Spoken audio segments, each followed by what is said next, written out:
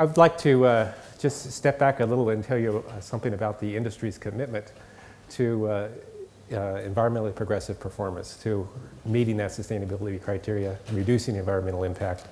And uh, it's signified here with what I show on the screen as a aviation industry commitment to action on climate change, which was signed in Geneva in May of this year by parties all across the industry.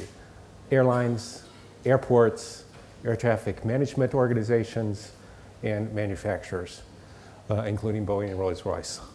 So the commitment is at the industry level, uh, supported by individual actions by all the various parties like uh, we're doing today. More particularly on fuel, uh, there's also an, an industry commitment to sustainability. Uh, something uh, that we did this year as well was to start something called the Sustainable Aviation Fuel Users Group. And uh, proud to say that Air New Zealand is one of the founding members of that group. Uh, and uh, the idea here is to recognize that we have to meet the sustainability criteria with the endorsement of a variety of stakeholders involved in that process. So we're embarking on that journey as well.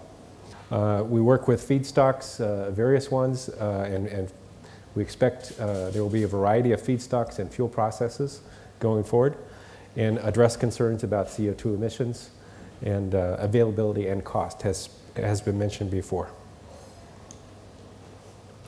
Now, just to illustrate the CO2 life cycle concept a little further for you, uh, on one side of the chart here you see petroleum-based uh, kind of life cycle, and this is, uh, this is like drawing from your savings account. We have this energy that's been stored in the, sequestered in the ground for millions of years. And we, we keep drawing from the savings account and using that for today's energy needs. Well, what we're trying to create is a, a second option, and that's to use our, our current income. That is, we, we grow plants that actually recycle CO2 in near term to when we're actually using that to create energy. So it's a savings account versus your current income. And I don't know about you, but I try to stick with my current income. That works out best.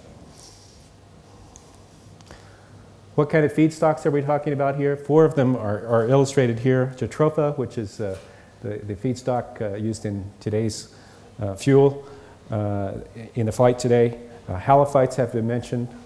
Uh, camelina is an energy crop, and, and algae is maybe a little further out in terms of availability but uh, has great potential in terms of a very high volume, uh, high energy uh, source.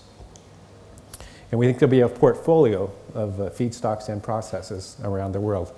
So we're here to prove that sustainable biofuels have equal energy content and they can meet all the requirements to, uh, to be useful in jets that they, they can be used in the existing aviation infrastructure as true drop-in fuels, and sustainable, scalable, and affordable. So we know we're on a journey. We're at the beginning of that journey, but we're, as Air New Zealand says, taking steps today for tomorrow. Now, in addition to changing the fuel, uh, as been mentioned before, is, is part of a you know, the other piece of it is to use fuel more efficiently. So that's doing things like the perfect flight that Air New Zealand recently did to, to actually do flight procedures that optimize uh, the use of the fuel and continued fleet renewal and upgrades.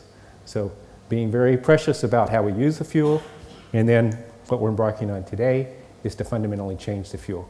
So this is a, where the industry is headed and uh, we're very proud to be part of, of uh, Air New Zealand's flight today. Thank you.